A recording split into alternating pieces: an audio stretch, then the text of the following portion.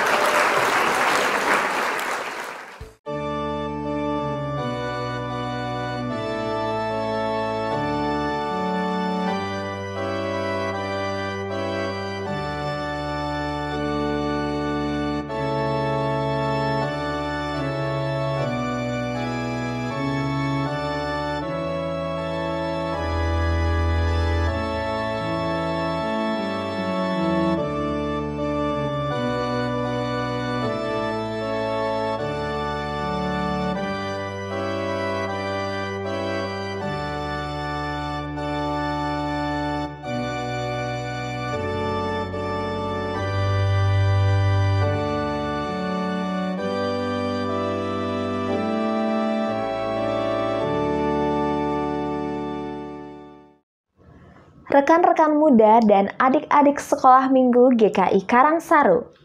Mulai saat ini, memberikan persembahan dapat dilakukan dengan menggunakan QRIS loh. Caranya mudah. Pertama, buka aplikasi mobile banking atau aplikasi lainnya seperti yang tertera di bawah ini.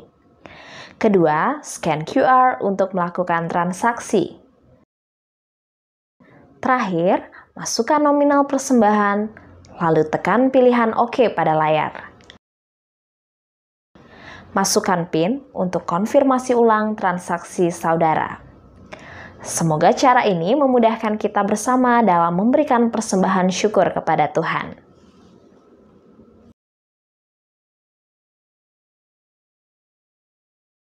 Nah adik-adik, hari ini kita mau belajar satu ayat dari Alkitab. Yuk kita ucapkan sama-sama ya. Lukas 15 ayat 10 Aku berkata kepadamu, demikian juga akan ada sukacita pada malaikat-malaikat Allah karena satu orang berdosa yang bertobat. Sekali lagi adik-adik. Lukas 15 ayat 10 Aku berkata kepadamu demikian juga akan ada sukacita pada malaikat-malaikat Allah karena satu orang berdosa yang bertobat. Shalom semuanya. Jum, jum, jum. Jumpa lagi bersama Kak Biti di dalam ibadah anak GKI Karangsaru hari ini. Minggu 10 Oktober 2021. Syukur kepada Tuhan karena masih memberi kita semua kesempatan untuk menjalani hari yang baru, kesehatan, kekuatan, dan kembali dapat berbakti kepada Tuhan bersama dengan saudara-saudara seiman lainnya walaupun kita masih via online. Marilah kita beribadah kepada Tuhan dengan sukacita. Datang ke hadapannya dengan sorak-sorai. Masuklah melalui pintu gerbangnya dengan nyanyian syukur. Ke dalam pelatarannya dengan puji-pujian. Bersyukurlah kepadanya dan pujilah namanya. Sebab Tuhan itu baik, kasih setianya untuk selama-lamanya dan kesetiaannya tetap turun-temurun. Mari Kak Biti ajak kita semua pujikan bersama sebuah lagu Datanglah ke baitnya.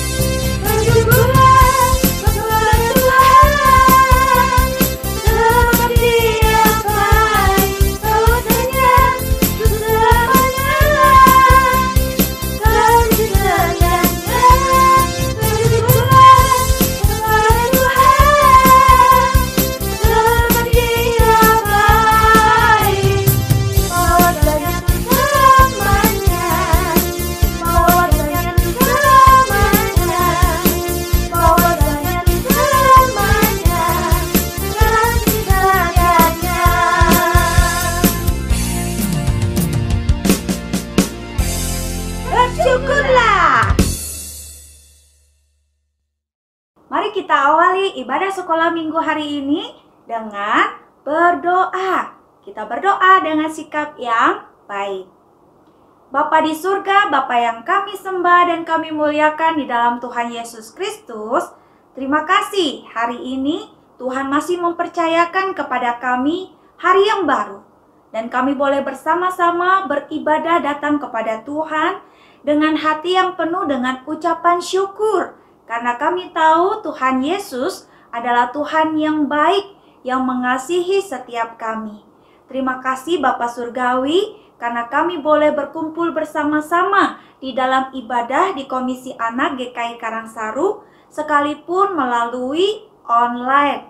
Kami rindu dapat beribadah dengan baik. Tuhan berkenan sucikan dan kuduskan kami sehingga ibadah hari ini membangun iman percaya kami kepada Tuhan dan kami boleh menjadi anak-anak Tuhan yang baik, yang mengasihi Tuhan dan menyenangkan hatimu. Kiranya Bapak Surgawi memimpin ibadah ini dari awal, pertengahan, hingga akhirnya. Di dalam nama Tuhan Yesus kami sudah berdoa. Amin. Adik-adik yang dikasihi Tuhan Yesus Kristus, kita bersyukur memiliki Tuhan yang baik, yang selalu menyertai langkah kehidupan kita. Dan Tuhan yang kita sembah di dalam Tuhan Yesus Kristus juga adalah Tuhan yang setia. ketika Ia berjanji menyertai kita, maka itu pasti akan dilaksanakan. Dan sungguh bersyukur kita boleh menjadi milik Tuhan dan Tuhan menjadi milik kita. Kak Biti ajak adik-adik semua menyanyikan pujian seindah pelangi.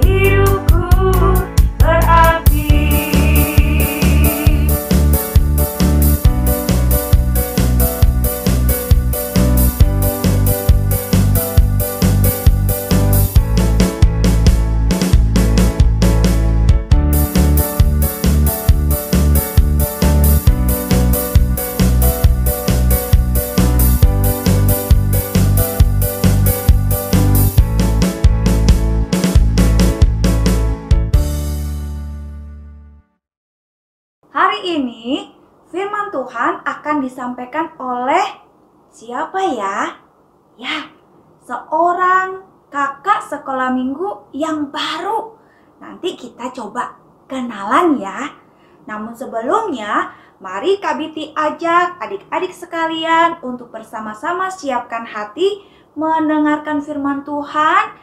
Kita mau pujikan lagu Jiwaku Terbuka bersama dengan Kak Betty yang pada waktu itu rambutnya masih pendek.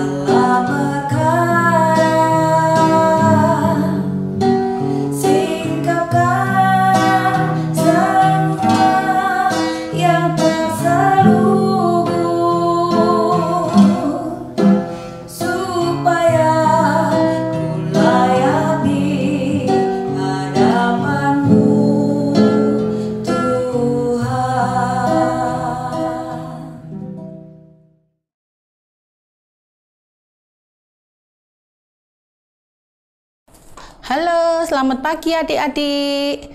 Apa kabar semuanya hari ini? Kakak berharap adik-adik dalam keadaan sehat dan tentunya penuh sukacita. Oh ya, kenalkan, nama kakak adalah Kak Tati. Senang sekali kakak hari ini bisa bertemu dan berjumpa dengan adik-adik pada ibadah online pagi ini. Adik-adik, sebelum kita mendengarkan firman Tuhan, kita mau berdoa dahulu ya. Coba adik-adik siapkan sikap doa yang baik, tangan dilipat, mata ditutup. Mari kita berdoa. Tuhan Yesus, terima kasih untuk hari ini. Kami bersyukur karena kami boleh mengikuti ibadah online pada hari ini dengan kesehatan yang Tuhan berikan buat kami semua. Tuhan tolong supaya kami boleh duduk tenang, mendengarkan, dan boleh mengerti akan firman yang akan disampaikan pada hari ini. Terima kasih Tuhan Yesus. Di dalam nama Tuhan Yesus kami berdoa. Amin. Adik-adik, bacaan Alkitab kita pada hari ini diambil dari kitab Yeremia 18 ayat 1 sampai 6. Nah, adik-adik, coba adik-adik ambil Alkitab. Kita mau buka sama-sama ya. Ya.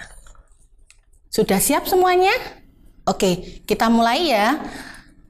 Yeremia 18 ayat 1 sampai 6. Firman yang datang dari Tuhan kepada Yeremia bunyinya, "Pergilah dengan segera ke rumah tukang periuk. Di sana aku akan memperdengarkan perkataan-perkataanku kepadamu. Lalu pergilah aku ke rumah tukang periuk dan kebetulan ia sedang bekerja dengan pelarikan. Apabila bejana yang sedang dibuatnya dari tanah liat di tangannya itu rusak, maka tukang periuk itu mengerjakannya kembali menjadi bejana lain menurut apa yang baik pada pemandangannya. Kemudian datanglah firman Tuhan kepadaku, bunyinya, Masakan aku tidak dapat bertindak kepada kamu seperti tukang periuk ini, hai kaum Israel. Demikianlah firman Tuhan.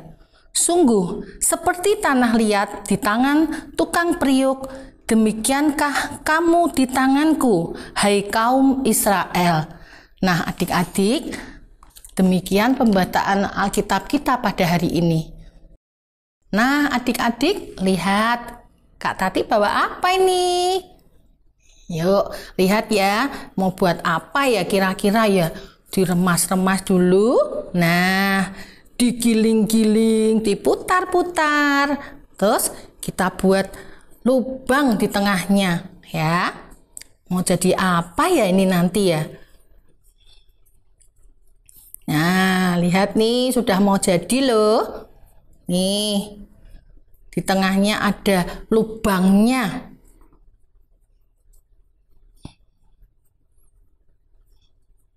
Kira-kira mau buat apa ya? Jadinya apa ini?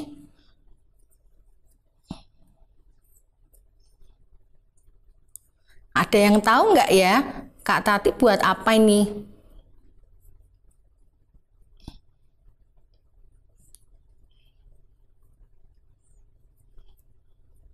Nah, ini kecilin dikit. Nah, kecilin dikit ya. Nah, sama nggak ya dengan sama nggak? Coba dengan yang ini sama nggak kira-kira? Nah, adik-adik, hari ini Kak Tati mau buat yang namanya bejana. Adik-adik mau tahu bejana itu apa? Yuk kita lihat video berikut ini ya.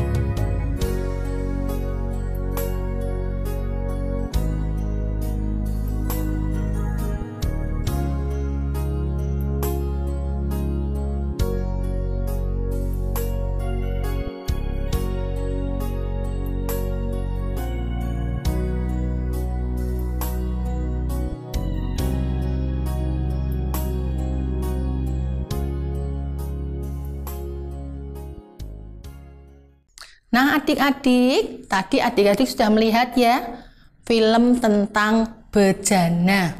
Nah, sekarang kakak mau tanya, bejana itu apa ya? Apakah adik-adik sudah pernah melihat bejana?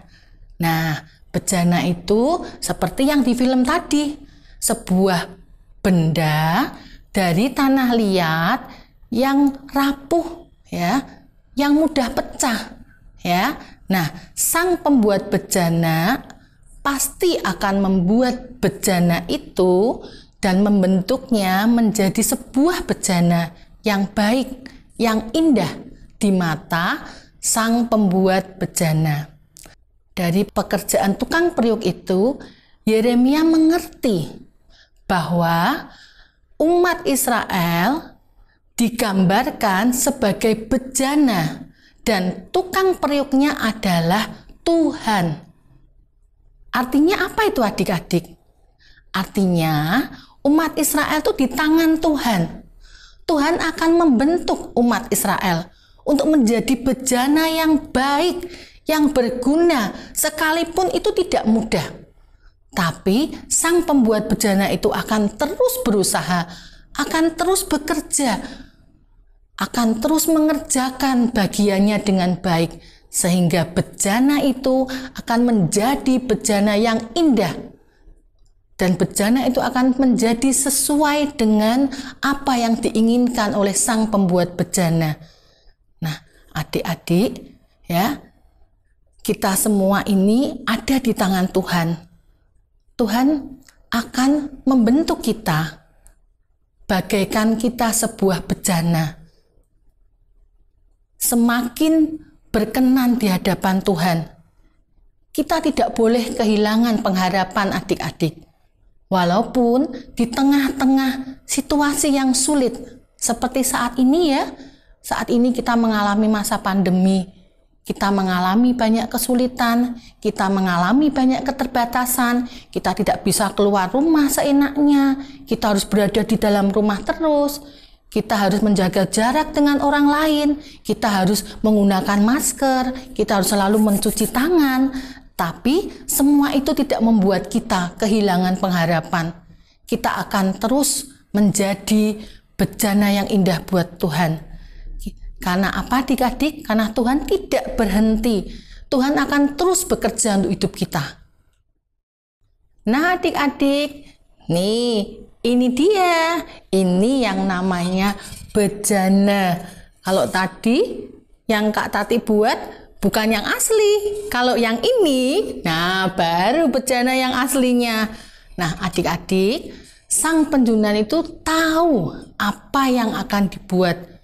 Dia tahu bejana seperti apa yang akan dibentuknya.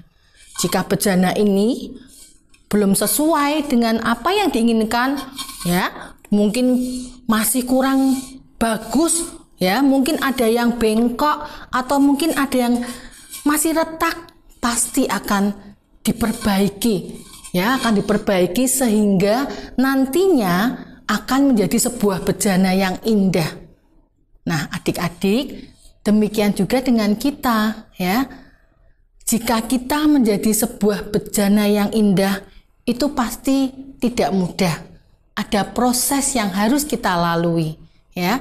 Tetapi adik-adik harus yakin dan percaya bahwa Tuhan Yesus, Sang Penjunan kita, akan membentuk bejana seperti yang diinginkan. Tuhan tahu seperti apa bejana yang akan dibuatnya, sehingga bejana akan menjadi sebuah benda yang indah, menjadi bejana yang indah, yang baik untuk kemuliaan nama Tuhan.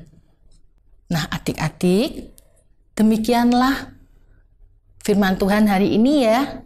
Adik-adik harus tetap semangat ya untuk menjadi bejana yang indah di mata Tuhan.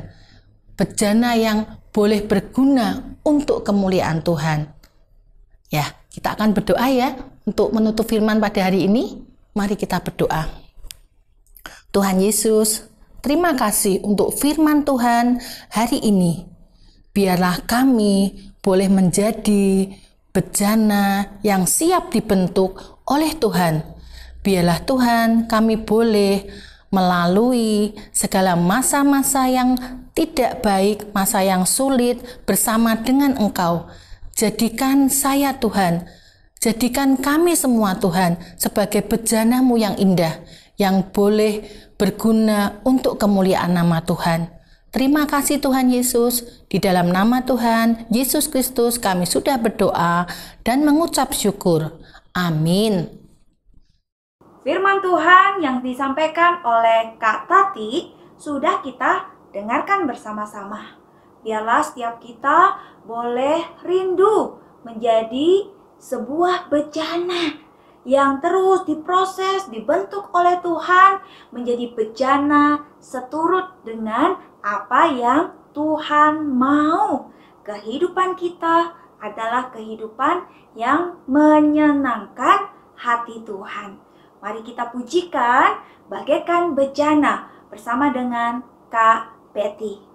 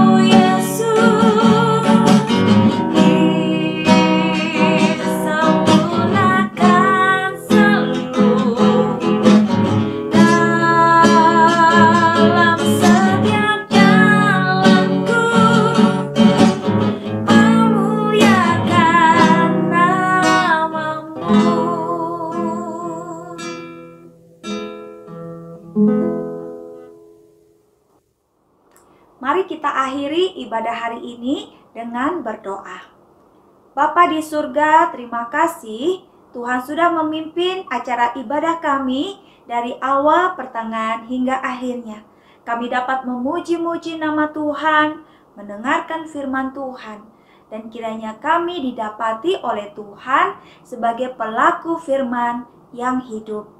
Bapa di surga, kami menyerahkan kehidupan kami masing-masing di mana pun berada. Kiranya Tuhan tetap memberkati kami, karuniakan kesehatan, kekuatan, dan juga tetap bersuka cita dan bersemangat menjalani hari-hari yang masih Tuhan percayakan. Berkati papa mama, berkati kakak-kakak sekolah minggu, berkati untuk para guru di sekolah, berkati teman-teman semuanya, berkati setiap anak-anak Tuhan di mana pun berada.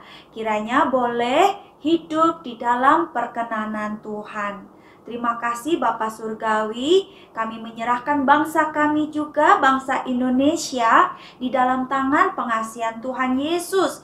Kiranya senantiasa disertai dan juga dipimpin oleh Tuhan. Inilah segala seru doa kami yang kami panjatkan di dalam nama Tuhan Yesus Kristus yang telah mengajar kami berdoa demikian. Bapa kami yang di surga, dikuduskanlah namamu, datanglah kerajaanmu, jadilah kehendakmu di bumi seperti di surga. Berikanlah kami pada hari ini makanan kami yang secukupnya, dan ampunilah kami akan kesalahan kami, seperti kami juga mengampuni orang yang bersalah kepada kami. Dan janganlah membawa kami ke dalam pencobaan, tetapi lepaskanlah kami daripada yang jahat, karena Engkaulah yang mempunyai kerajaan dan kuasa dan kemuliaan sampai selama-lamanya. Amin. Bapa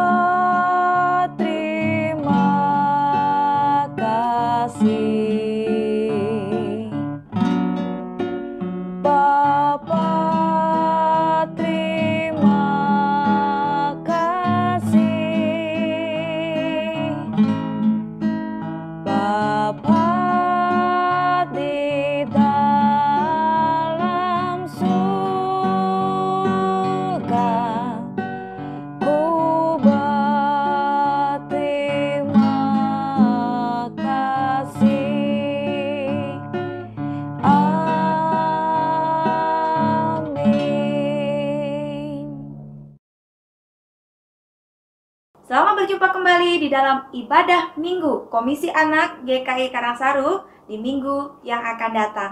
Tuhan Yesus memberkati.